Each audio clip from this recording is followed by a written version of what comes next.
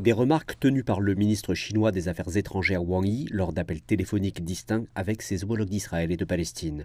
M. Wang a transmis lundi au ministre israélien des Affaires étrangères Eli Cohen la profonde tristesse de la Chine concernant le nombre élevé de victimes civiles.